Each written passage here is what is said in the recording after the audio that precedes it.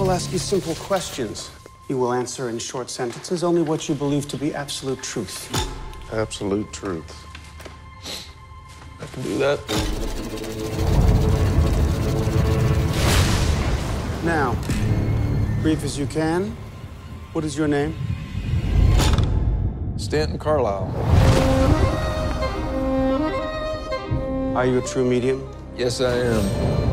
Mr. Carlisle, Doctor, how that? please lay down. Can you read minds? Yes, I can. Under the right circumstances. Keep your answers brief. What do I want? To be found out, same as everybody else.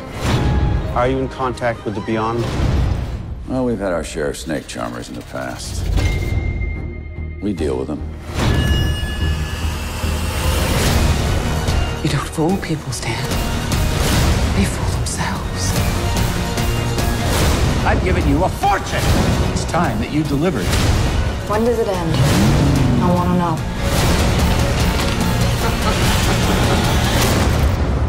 If you displease the right people, the world closes in on you very, very fast.